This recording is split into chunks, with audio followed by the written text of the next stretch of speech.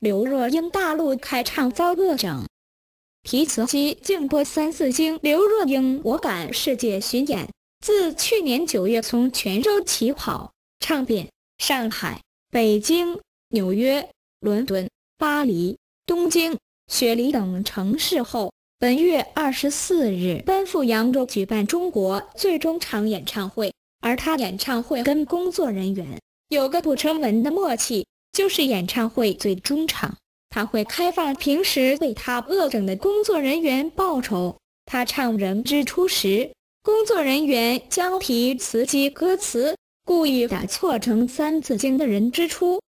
性本善，他怕笑场，闭着眼睛投入情绪。当他演唱会介绍乐手时，乐手竟故意捉弄他罢演，甚至他与乐手互飙吉他时。吉他手跑还跑给他追，他笑说：“刘若英的演唱会是很有气质，你们这样会让第一次来看我演唱会的人以为我的演唱会就是常这样。”而他演唱会当天撞金曲奖，感慨说自己并非唱将型或实力派，向来与金曲奖无缘，但为他写歌优秀的音乐人却都不能入围金曲。留下些许遗憾。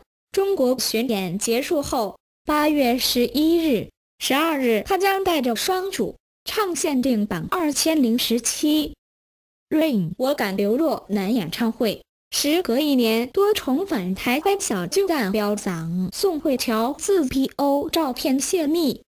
报客离岛同宿，宋仲基三十五岁，韩国女星乔妹宋慧乔与宋仲基去年合作《太阳的后裔》旅船交往，日前被莫西同游客离岛，前后脚返回韩国。双方事后虽否认，但韩国节目 Section TV 昨爆出，先到当地的宋慧乔在男方抵达后，立刻换住处。并在私人 IG 上传三张饭店照片，两人同住高级别墅饭店，一晚要价一百五十万韩币，约四点五万元台币。双宋热恋传闻再起，乔妹的前度们李秉宪与玄彬都是假戏真做交往，如他与宋仲基擦出爱火，也不用太意外。媒体报道，他本月四日。至十五日在可里岛出没，宋仲基七日至十三日也碰巧在当地，两人澄清为不同目的到该地，并否认私会，时间意外重叠。但韩国娱乐节目在桥内私人 IG 发现两间饭店照片，他十一日上传位于水明漾地区的高级别墅饭店，时间点正好与宋仲基时间重叠，制作单位。实际走访该别墅，工作人员表示，男方进出都戴着口罩，但退房时认出了他的身份。只来到宋慧乔下榻处的男子正是宋仲基。节目更放话下周会播出更劲爆内容。刘若英大陆开唱遭恶整，提词机静播三四经。刘若英我敢世界巡演，自去年九月从泉州起跑，唱遍上海。北京、纽约、伦敦、巴黎、东京、雪梨等城市后，本月二十四日奔赴扬州举办中国最终场演唱会。而他演唱会跟工作人员有个不成文的默契，就是演唱会最终场，他会开放平时为他恶整的工作人员报酬。他唱《人之初》时，工作人员将提词机歌词。故意打错成《三字经》的人之初，性本善，他怕笑场，闭着眼睛投入情绪。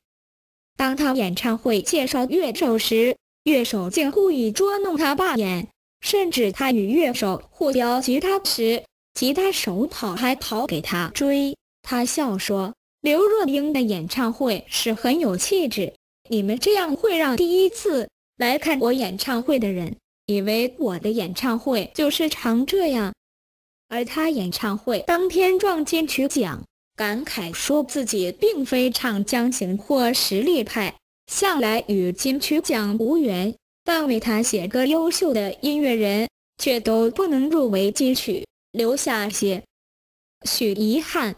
中国巡演结束后，八月十一日、十二日，他将带着双主唱限定版二千零十七《Rain》我敢流落男演唱会。时隔一年多重返台湾小巨蛋飙嗓，宋慧乔自 P.O 照片泄密，报客离岛同宿宋仲基三十五岁，韩国女星乔妹宋慧乔与宋仲基去年合作《太阳的后裔》旅船交往，日前被莫西同游客离岛，前后脚返回韩国，双方事后虽否认，但韩国节目 Section TV。